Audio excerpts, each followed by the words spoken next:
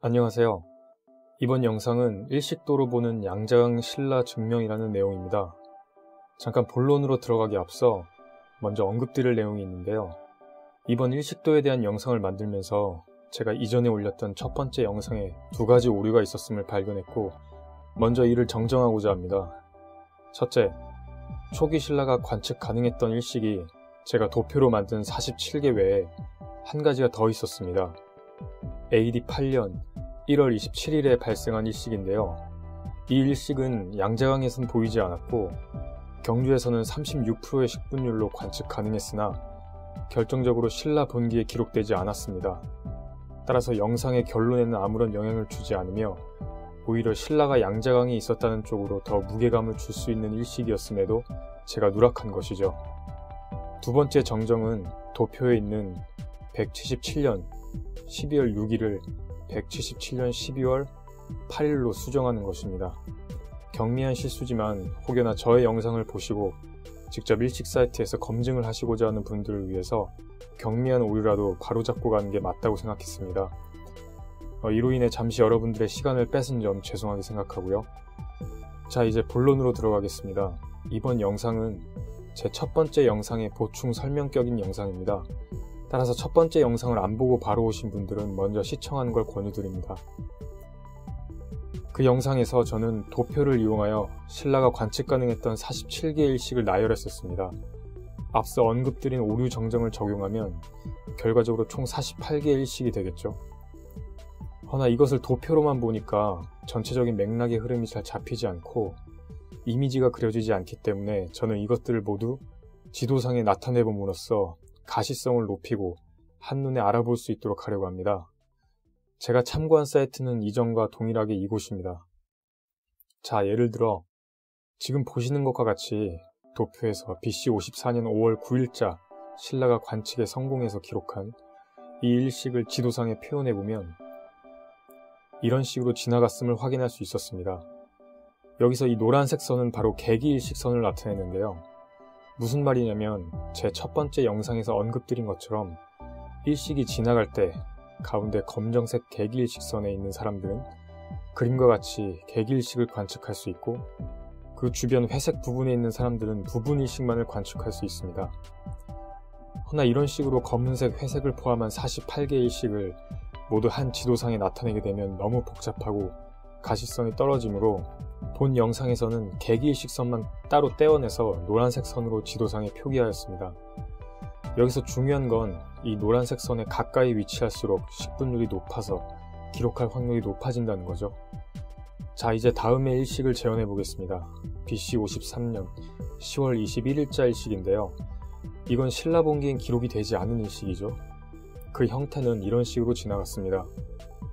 자, 이제 이런 식으로 기록을 했고 안 했고를 떠나서 그 당시 경주에서 수치상으로 관측이 가능했던 즉 경주에서 봤을 때 해 5% 이상을 가렸던 일식들을 모두 지도상에 표현해 보겠습니다.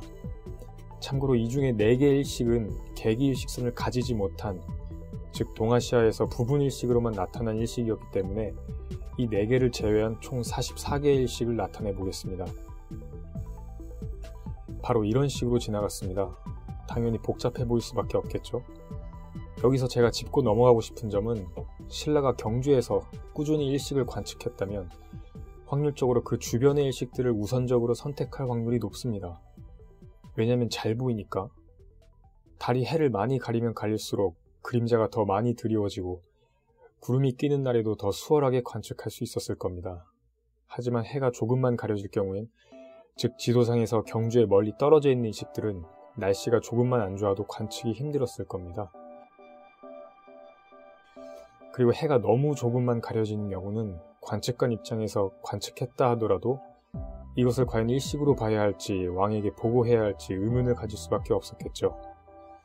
자, 그럼 이제 이 수많은 일식 중에 초기 신라가 선택한 16개의 일식만을 나타내 볼 텐데요.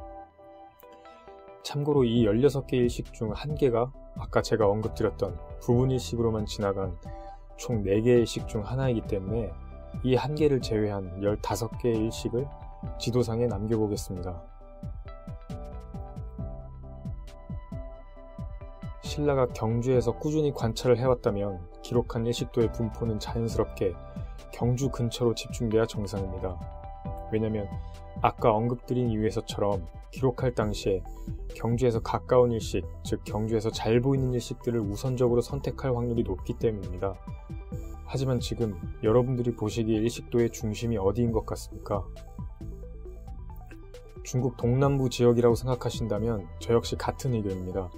하늘에 새긴 우리 역사 책에서도 수치상으로 검증한 결과 지금 보이시는 지역이 이 전체 일식들을 평균 0.7의 식분으로 가장 잘 볼 수 있는 곳이었습니다. 이 타이밍에 이런 의문을 품고 계신 분들도 있을 거예요. 아니 일식들을 평균적으로 가장 잘 볼 수 있는 위치가 무조건 관측자의 실제 위치가 되어야 하나? 라는 것이죠. 하지만 여기서 우리가 유심히 봐야 할 것은 평균 0.7의 그 높은 수치가 아니라 바로 관측 기록된 이 15개의 일식들이 한 곳으로 집중되고 있다는 사실입니다. 당장 우리가 이 수많은 일식에서 15개를 임의로 뽑았을 경우 그것들이 한 곳으로 강하게 집중될 확률이 얼마나 될까요? 낮은 확률도 확률이다 라는 분들을 위해서 한번 이런 가정을 해볼게요.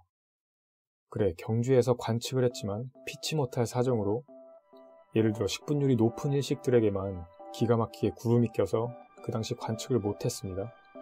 따라서 어쩔 수 없이 식분율이 낮은, 즉 경주에서 멀리 떨어진 일식들을 주로 기록하게 됐는데 그것들 대부분이 또 경주에서 남서쪽으로 치우칠 확률은 얼마나 될까요? 그 확률도 확률이다라는 분들을 위해 그래 우연하게도 경주에서 동북쪽에 있는 일식들은 대부분 선택이 안 됐습니다. 그런데 그렇게 남서쪽으로 치우친 일식들이 또 한 곳에 모이게 될 확률은 얼마나 될까요? 정리하자면 신라본기에 기록된 이 15개의 일식은 그저 우연히 이런 식으로 집중된 게 아니라 그 당시 누군가에 의해 한 곳에서 꾸준히 관측됐기 때문에 이러한 양상을 보이게 되는 겁니다.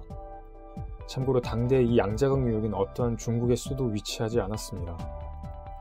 물론 저의 유튜브 영상을 보시면 대부분이 일시 기록과 자연 현상에만 치중해서 이러한 결론을 내고 있지만 분명히 고고학적인 발굴이나 조사가 해당 국가와의 협력을 통해 숨김없이 제대로 이루어진다면 분명 앞으로 대륙 3국에 대한 증거물들이 많이 나올 수 있다고 봅니다. 네 그럼 이상으로 일식도로 본 양자강 신라에 대한 영상을 모두 마치도록 하겠습니다. 시청해주셔서 감사합니다.